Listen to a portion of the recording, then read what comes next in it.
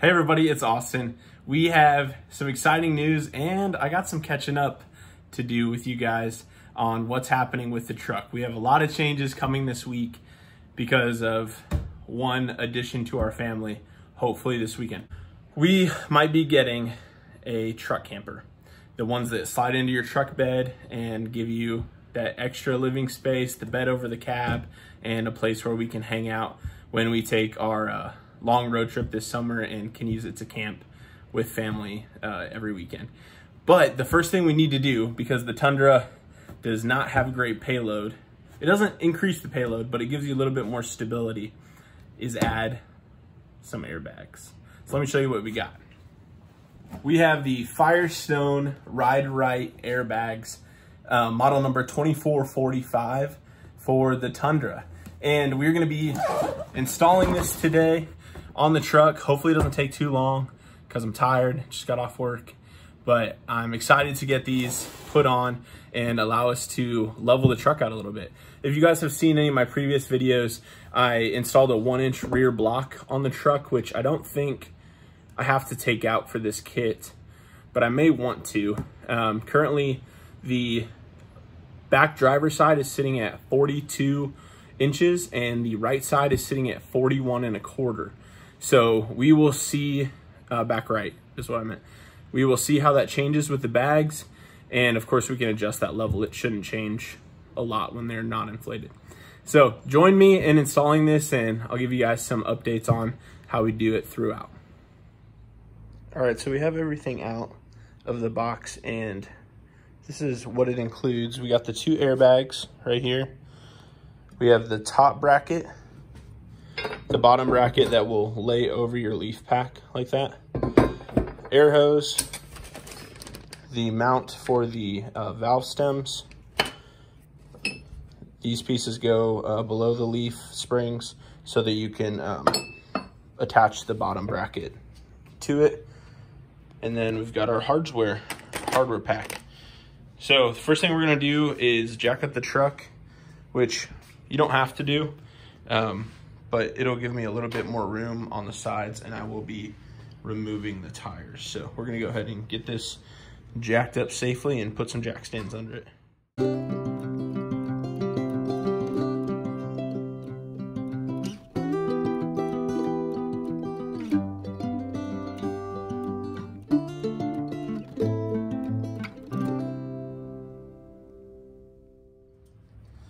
So now that we have the wheel off, the next step is to get rid of this jounce bumper, which would hit here if you bottomed out, as you can see right there. But the airbag is going to sit right on top of this.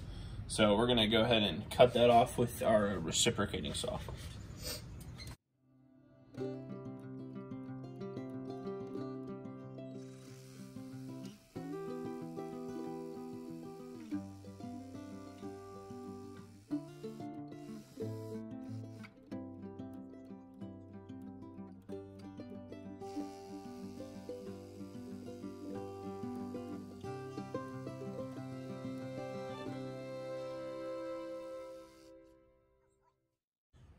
Whew, that smells something awful. Holy cannoli. Uh, there might be a alignment pin under there because it feels hard once I get to the middle. I'm gonna try to angle up a little bit.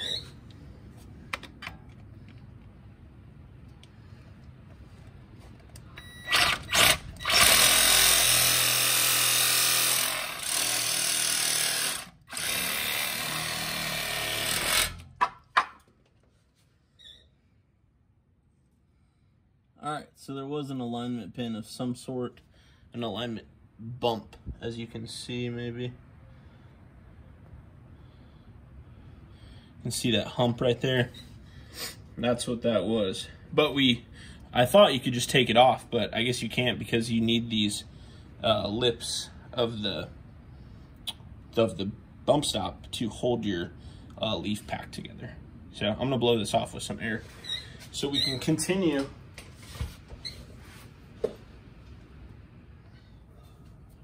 All right, so the next part is to remove this 12 millimeter flange nut, which is holding the fuel pump control module on the back side of the frame here.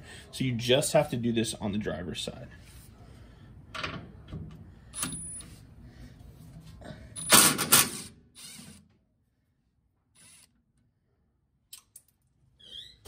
Naturally, you would drop it. Later on, we are going to mount to the frame this extension piece. It'll go behind the frame um, and attach to the control module. Let me see if I can pull that down.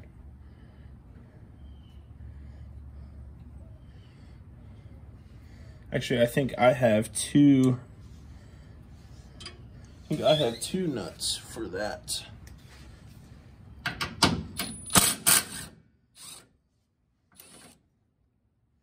Yes, I did. So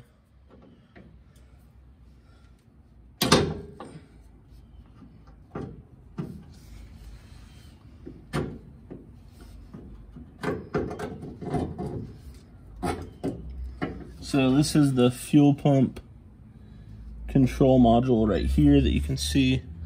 I don't want to let it hang by the cords, but we will attach these pieces here.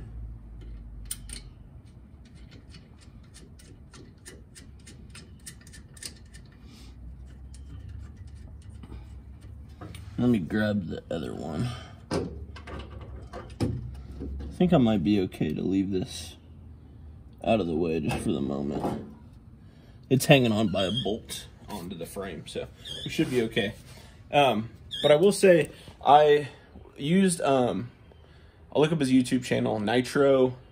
He's got a sweet Tundra, um, but I'm referencing some of his video for this install along with the instructions. And he has a 2020 Tundra, which does only has one bolt for the fuel pump. So if you have um, a 2020 or newer, you only have one bolt for that, but I have two on my 2019.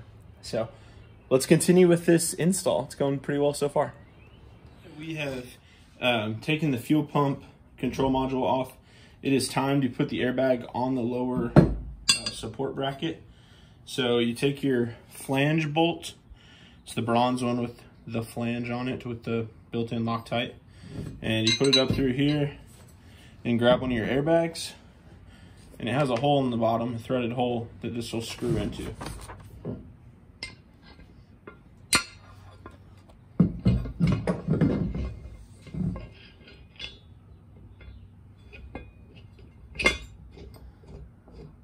There is an option for um, cradles to go on the bottom, which would support the bottom of the airbag like a bowl that it would set in, and I ordered them, but they are not going to be here till tomorrow. And I don't have any other time this week to install this kit, and I need the bags on it to go pick up the truck camper this weekend or on Friday. So, kind of in a time crunch, kind of regretting not having it sooner, but I wasn't planning to get one this weekend. We just found a good deal. So, we're going to keep on with the install and maybe we'll install the cradles when they come in. So you screw this in, um, but you're not going to torque it down at this time.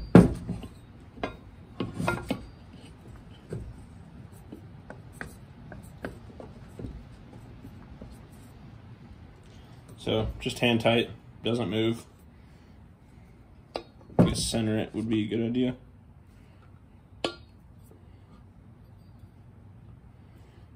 So that's centered. And then our next step will be to put on the top bracket, which is that plate steel. All right, so you want it to be sideways, uh, the threaded air nozzle, the threaded air nozzle and the alignment pin, you want them to be um, parallel to the frame, which will be running this way.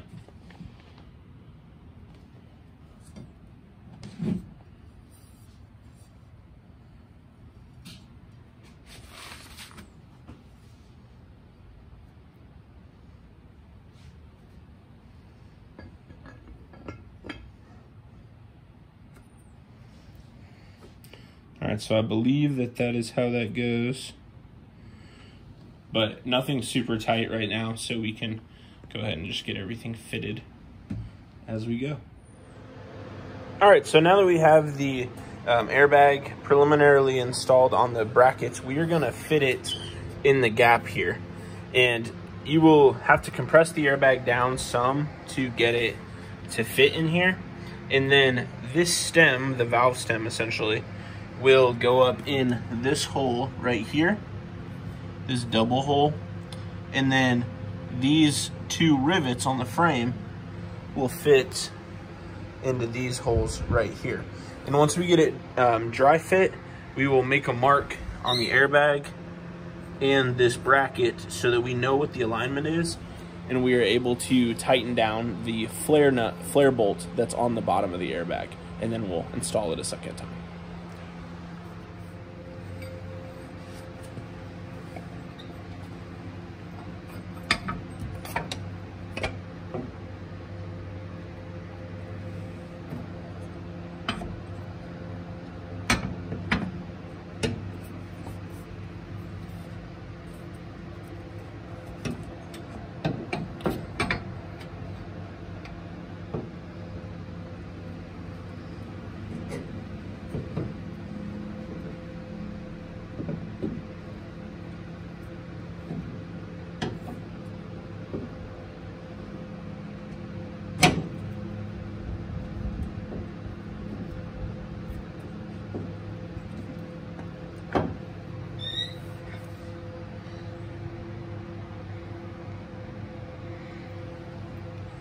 I think I need to spin the airbag around.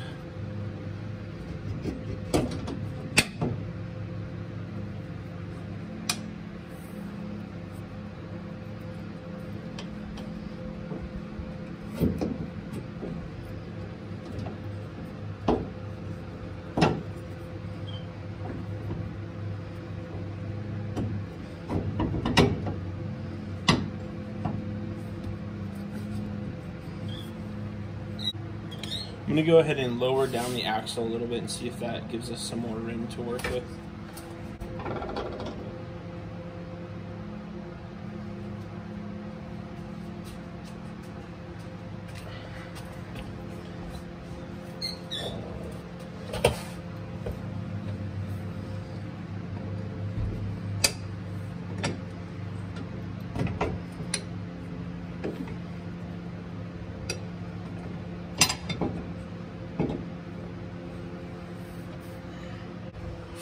All right, so I think it's lined up a little bit better, so I'm gonna jack up the axle here a little bit more.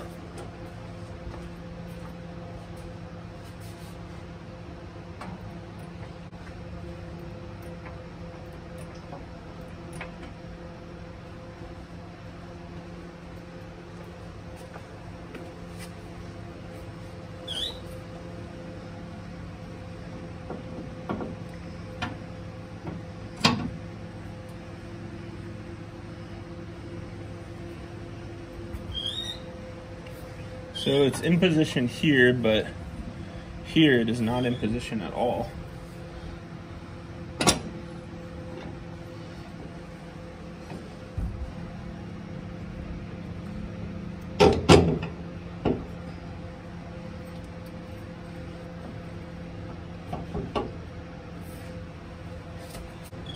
Alright, so I'm having trouble getting that lined up and keeping this pin in place up here. So I'm gonna have my wife come out and jack it up as I hold it. Okay, so I was finally able to get it in and it helped sitting on my rear so I can see the rivets in the frame. Um, what I needed to do was flip the plate over because it will adjust the, the holes back a little bit. So if you're having a heck of a time, um, go ahead and flip that plate over and that might help you.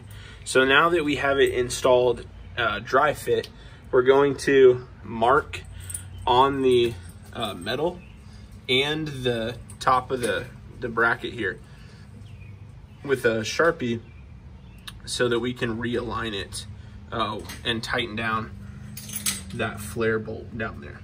So I'm gonna go ahead and place just a little, little line right there and there. All right, so now that we have it dry fit on the truck and I made my, my paint pen mark here with the white, I'm gonna go ahead and tighten down the flare bolt so that um, we can put it back in place. All right, so now that the paint pen marks are lined up, we tighten this down with a 9 16 ratchet.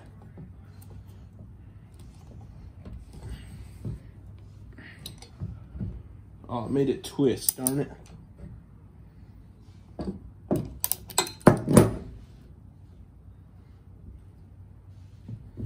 Let's see if there's any torque specs on this.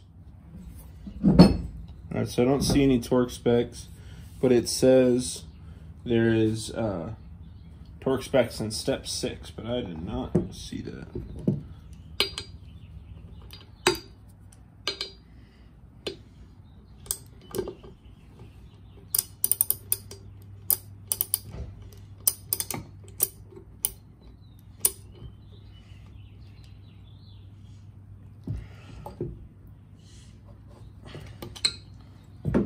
Torque spec on that is tight as can do it. All right, so then we put this back on top.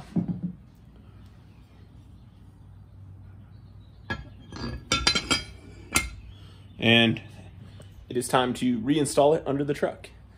Don't forget to grab your leaf spring brackets and your four carriage bolts and their nuts. All right, so now that we have it back in place and everything's aligned, we um, get to put on through the carriage bolts with the uh, brackets that go beneath it. Make sure that everything is in place and that pin is still aligned with this top bracket.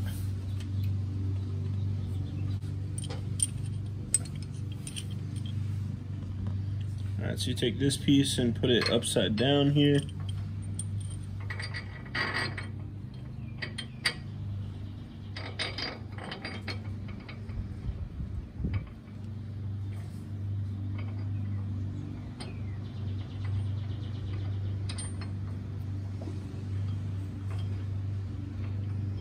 All right, so you hold that there and get the nut started.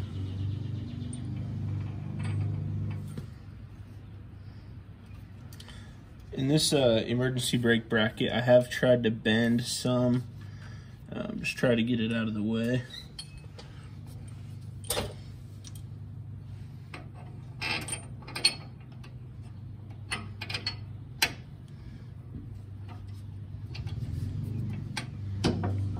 So everything's still in place well. These are all lightly secured, or hand tight rather. And we're gonna go ahead and go on to the next step, and I believe that's getting those tightened down. All right, now we get to tighten these up, and you're going to be using a 9 16 socket to do that. And just like you do on your wheels, you wanna alternate across what you're tightening down so that it evenly clamps onto the leaf pack. So we're gonna go ahead and tighten those down and the, the torque specs on the carriage bolts are the torque specs on the carriage bolts are 10 to 15 pounds. So a couple glugga gluggas will work just fine probably. But consult your owner's manual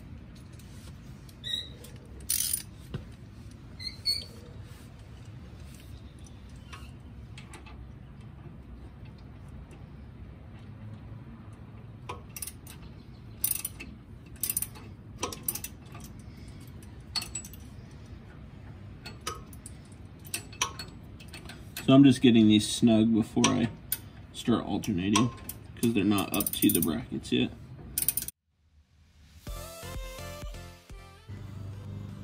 All right, so before you put on the carriage bolts at the bottom of the leaf spring, like we just discussed, you need to do the um, nut at the top of the airbag so it's secured in place before you tighten it down to the leaf pack. And that's in the instructions, um, just make sure you follow that. So we're gonna go ahead and do that now, even though we mounted it to the leaf spring first.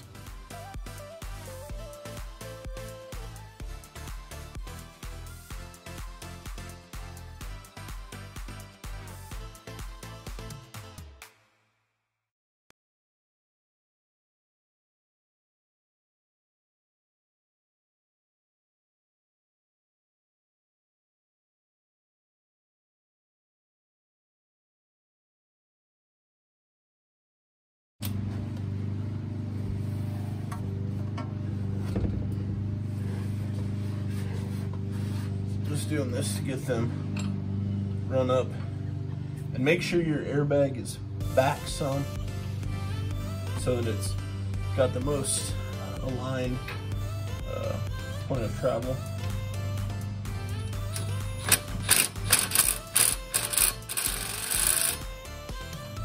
Gonna give these a couple more glugga gluggas and then I'll get out the torque wrench and set them to 20 foot pounds.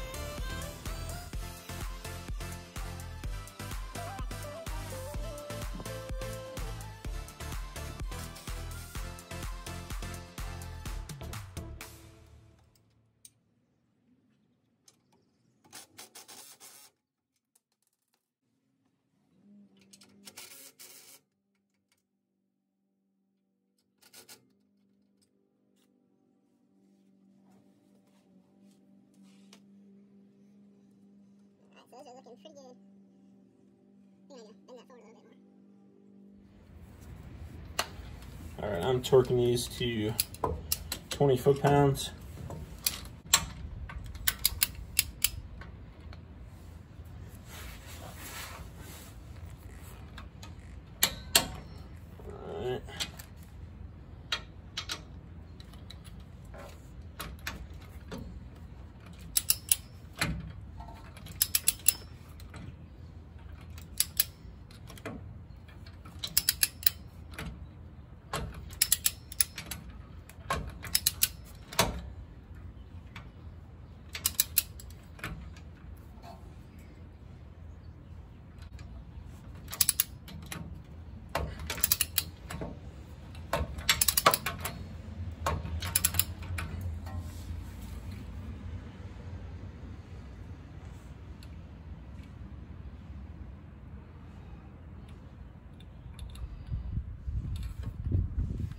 Huh.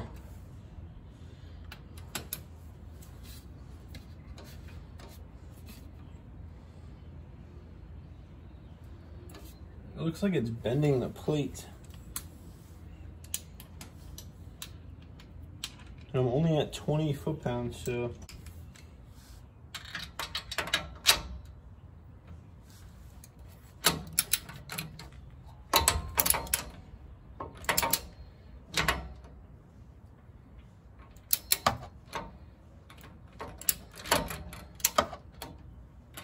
I don't know why this is happening.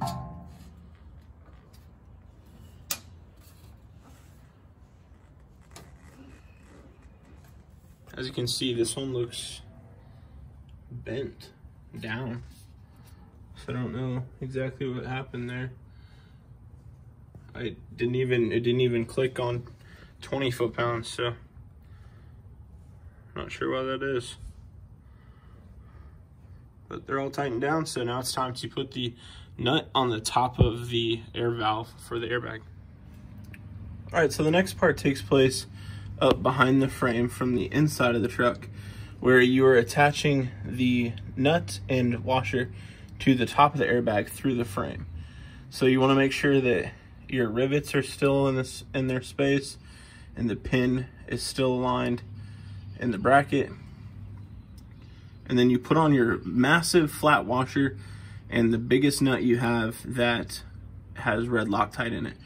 And you'll thread that over that bolt and tighten it down to 15 to 20 foot-pounds, but consult your owner's manual just to make sure.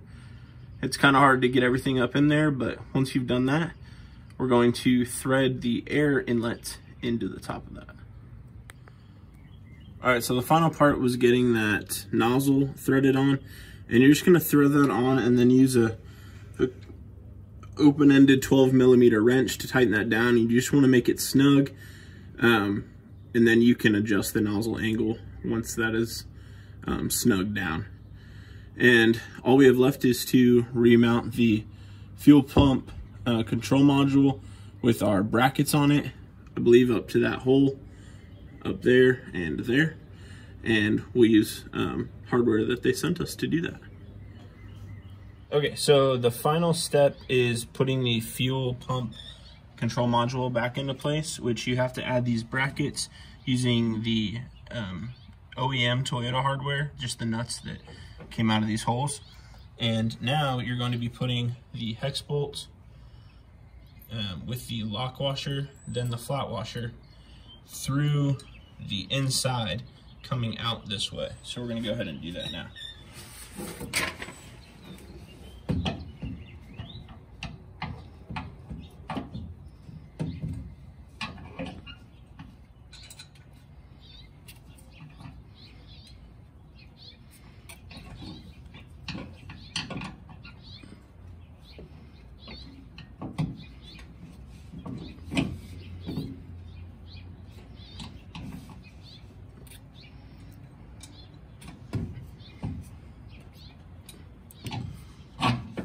I think what we need to do is aim these down, even though in the picture it has the brackets pointing towards the back of the truck.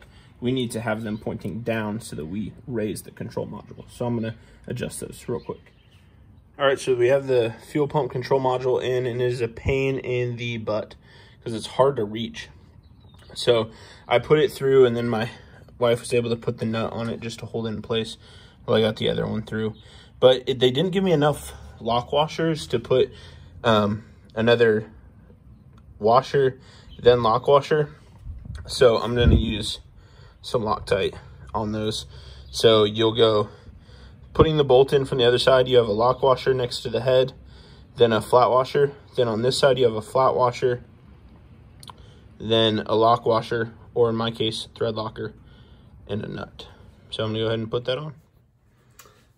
Hey everybody, so we got the both bags installed on both sides and now it is time to run the air hose. So you just find the middle of the air hose, hold the hold both ends, pull it out and find the middle and then you're going to want to use a really sharp utility knife to make a perfect 90 degree cut so that when you insert these into the fittings, they um, make a good seal.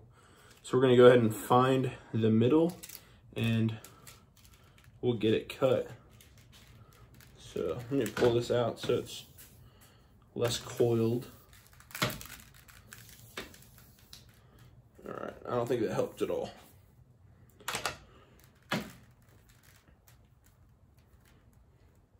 We're matching up both ends.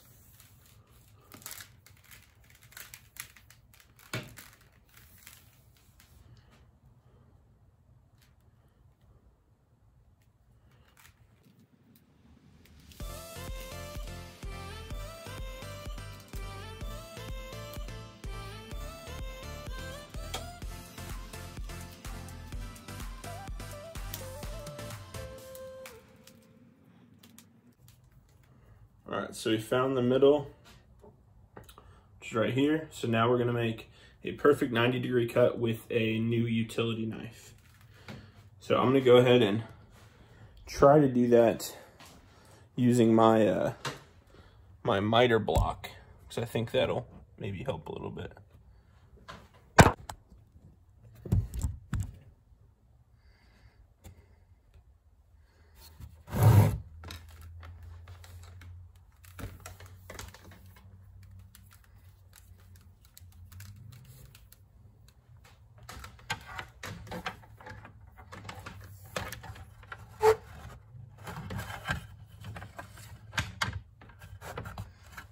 See if our blade is long enough. Ah, it's not.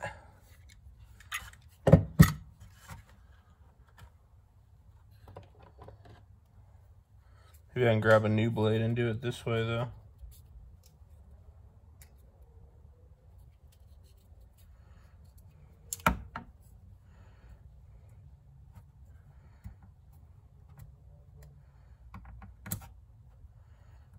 Alright, so we got a new razor blade.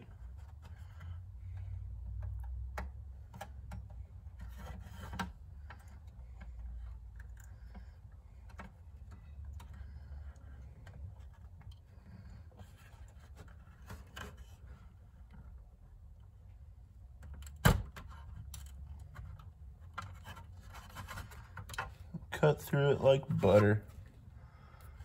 Can see Got a nice clean end. Perfect cut. I'm pleased with that. All right. Now we get to run it under the truck and I'll show you guys how you run it. To start it, you just put it right into the nozzle.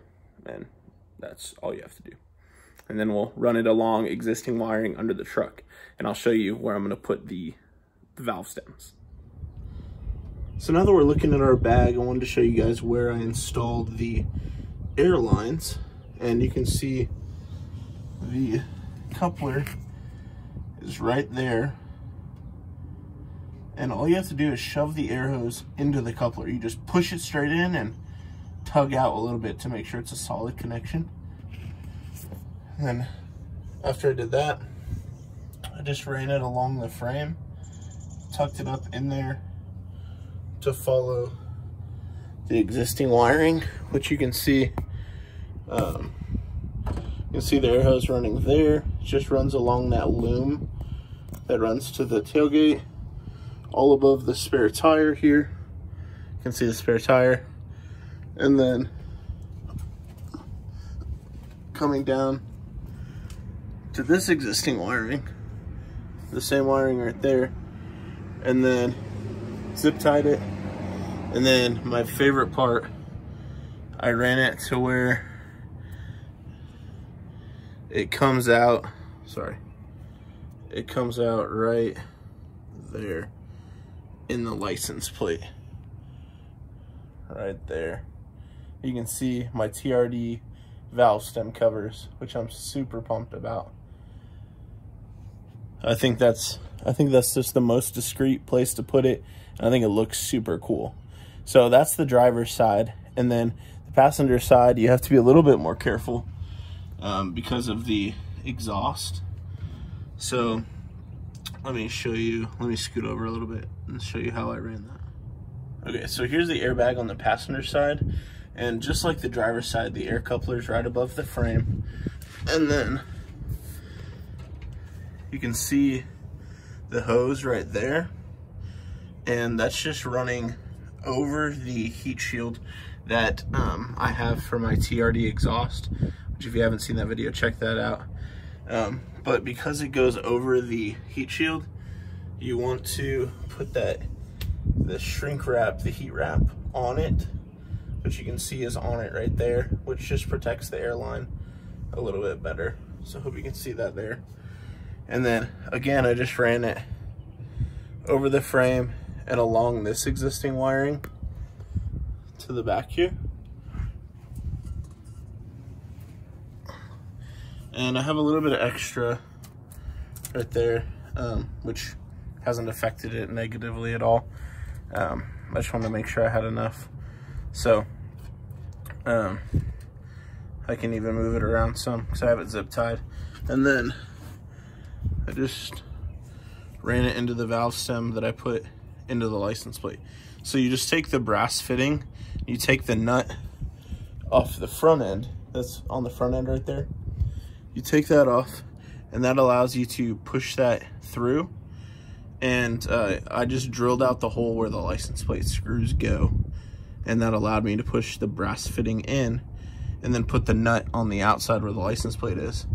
And then you just take your, your hose, your airline, and just push it right into the brass fitting and it stays in. It's it's super duper easy. And then uh, all you have to do is take off your valve stems and air it up, which we're gonna try in the next clip. All right, everybody, we have the bags installed and the hose ran from both, both bags. And now it is time to see if it works. Pray for no leaks because I am tired. It's 9.30 on a weeknight and I started doing this about 5. So it's been a long four hour process. And of course I've been videoing, but this takes a long time, longer than you'd expect. So hopefully it works. We're going to air it up to 70 PSI and we're going to see if it airs up the truck. Here we go.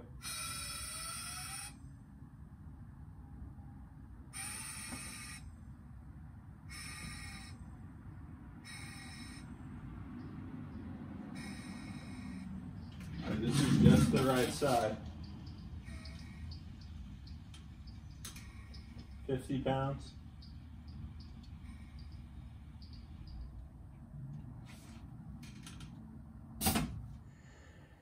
All right, so I know I haven't showed you guys yet, but this is where I installed the valve stems for the, the airbags. And this will fit right where the license plate mounts. And these little nuts will hold on the license plate. So you just got to drill this out to the size of the valve. And uh, it's pretty cool. So we're to go ahead and air up this side and see if we have any leaks. All right, so let's air up the driver's side.